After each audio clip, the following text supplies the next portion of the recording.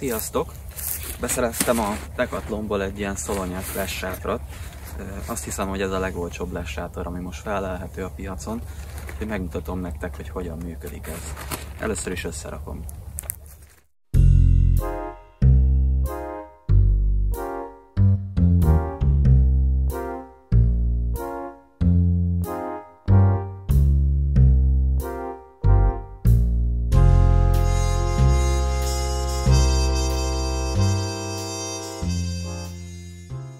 Egy kis gebasz, ugyanis ez a Decathlonnak a gyorsan felállítható sátor típusára épül. Ebben ilyen kis merevítő fémek vannak, ami ha nem jól pakoljuk el, meg tud csavarodni, és akkor nem úgy fog szétugrani, ahogy kellene. Vannak ezek a kis fém merevítők, ezek futnak végig a sátorban, ezt tud megcsavarodni. Lényeg az, hogy most a tetőt ide felraktam, és be kell akaszgatni ide a kis kampókat ezekbe a fülekbe. Csak nehéz egy kézzel, úgyhogy a másik a közben a telefon van.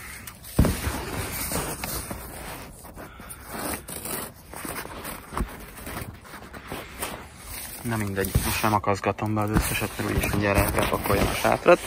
Tehát lényeg az, hogy ez itt a sátor belülről, kicipzárazható ablakok vannak ö, minden irányba.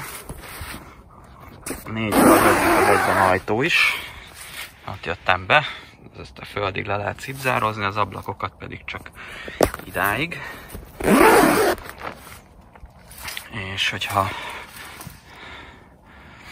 nem akarunk látszani, ilyen tépőzáras hálót tudunk vele húzni, és ezt meg tudjuk csinálni mind a három, illetve a negyedik oldalon is, hogyha csak félig húzzuk le a cipzárt, és nem teljesen az aljáig bejárat gyanánt.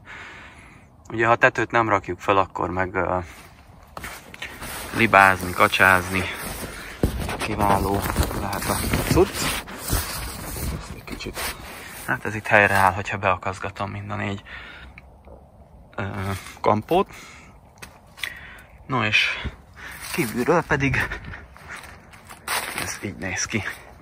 Hogyha lent van a háló, egyáltalán nem lehet belátni.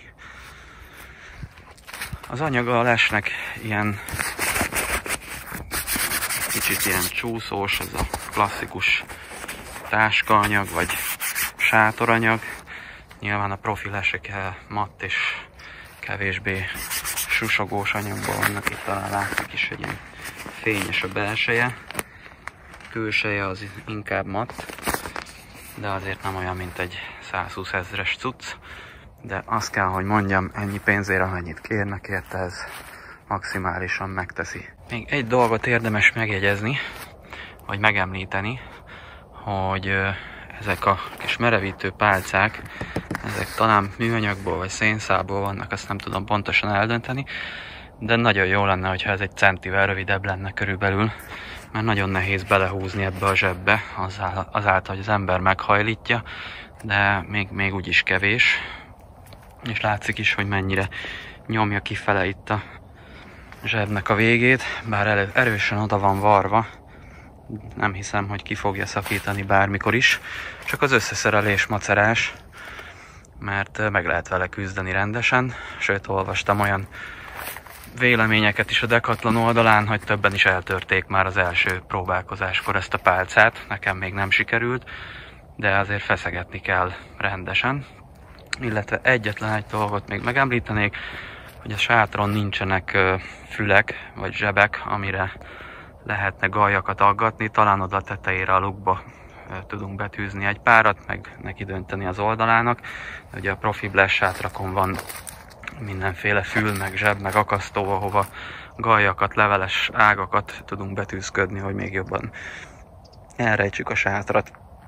Nem kötöttem most ki, minden négy oldalán van madzag, adnak hozzá leszúróvasat, hogyha van egy kis szél, vagy nem áll egyenesen az egyenetlen talaj vagy gaz miatt, akkor le lehet rögzíteni vele.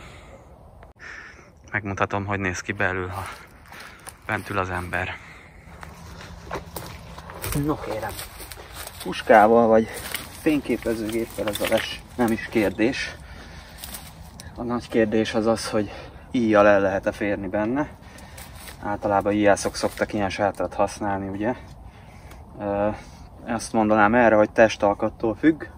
Én 175 centi vagyok, és van egy 28 és feles húzás hosszom.